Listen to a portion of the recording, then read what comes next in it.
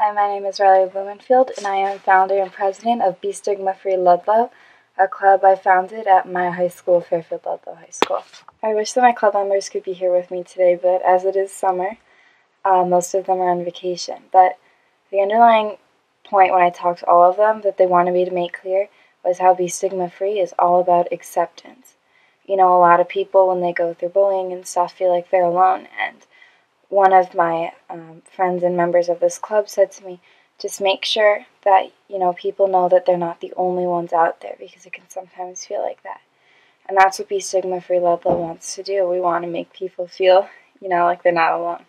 I mean, we want to make our school a more accepting place where it's easier to, you know, be a teenager because it's hard enough as it is with schoolwork and peer pressures and all that stuff. And we just want to make life a little bit easier. So we, um, with Be Stigma Free, focus on um, just erasing the stigma. We want people to be able to be themselves around us, whether you know they're gender fluid or bisexual or anything. We want to make them feel accepted, and a big part of that, um, a big part of the stuff that we work on, is also having to do with mental illness.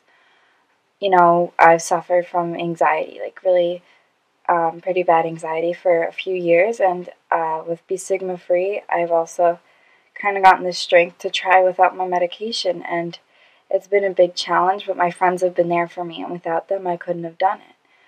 Um, another thing a lot of us have in common is we're, a lot of us are siblings of people with mental illness, and you know, it's a group that kind of gets left behind, and together we can talk about how difficult it is to love someone who is mentally ill just because it's taxing and it's hard because you know their family or friends or partners or anything and so we just want to make life a little bit easier i just want to thank everyone at turning point so much for hosting this video contest and me and the rest of Stigma Free Ludlowe are honored that we can be represented in this contest. Um, here's some videos of just us having fun. I could do the thing there where she's like, where she's like, she's like this, and then she's like, and then she's like this, and then she turns over and she's like this.